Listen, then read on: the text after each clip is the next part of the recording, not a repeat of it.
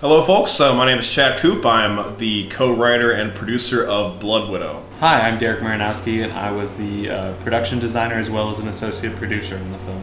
Hi, my name is Jeremiah Buckhalt, and I'm the director and creator of The Blood Widow. Hi there, I'm Phillip Marunowski, uh, executive producer, art director, and I play Bobby Sullivan in the film. Blood Widow is a movie that is very much like the old slasher films from the 80s that, that we, we love. We did it on the seat of our pants, a shoestring budget, and kind of do it quick and dirty, kind of do it old school. We watched the original Halloween, Friday the 13th, uh, My Bloody Valentine, Black Christmas, because we just love the way those films are shot and love the, the ominous quality and the fact that you don't see that much. Blood Widow was originally um, based upon uh, original old sketches that I had done uh, years back. The, the original script was based on trying to get it to uh, horror fans like traditional horror fans, like old school slashers and that kind of stuff. As soon as we figured out that he had this drawing of this you know, twisted uh, porcelain faced killer with hooks, we were just like, that's it. That's the movie. One of my dreams was always to become an actor, uh, and I, you know, I finally got to get in there, even with the table read, and sit down with the other actors and and start going through the script and and seeing the acting ability that went throughout the table and seeing that script come to life and actually being a part of it. It was, I mean, it was a dream come true even before we started.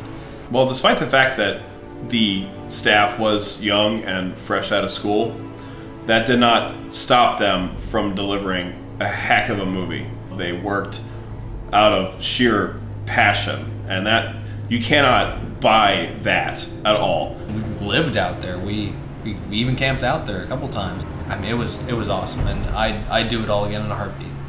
I would go right back out there, especially with this crew. I mean, they were like family. It was it was an amazing experience. I think working with a small and passionate team was definitely more fun because I got to know everybody individually rather than when you have a very large project.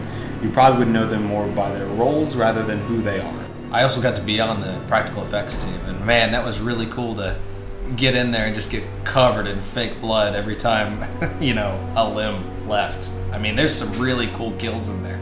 There is very little new school slasher bravado in Blood Widow. It's very traditional, and that's how we like it. No, everything was done specifically on set for on camera. There is no CG at all. My biggest hope with the fans that are interested in Blood Widow is that they'll see the movie and they'll think, wow, they don't make them like that anymore.